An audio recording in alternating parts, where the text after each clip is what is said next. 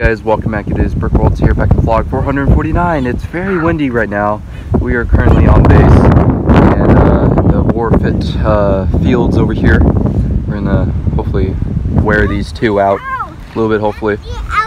There's the uh, mess hall over there some tennis courts the barracks over there.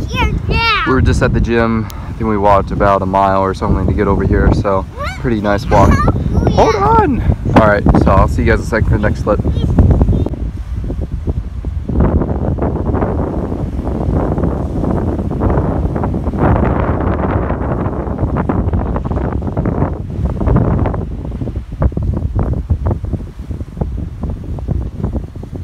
Alright guys, so I'm back home now after soccer, a little while after soccer. Uh, we like played a game today and uh, I was like uh, playing on the teams and such, and I scored five goals.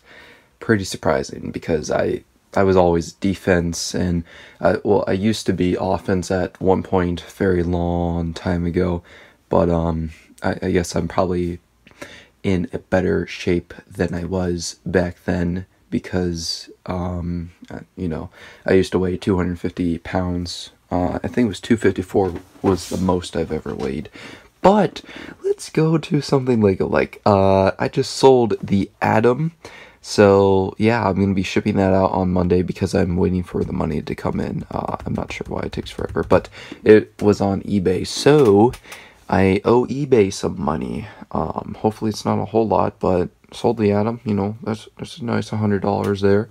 Um, it's making the money back currently, but um, you know, shipping and then eBay. Uh, it stinks, but it's totally fine because I haven't seen that money in forever, so I'd right, uh, like to have it back. And then also I have this.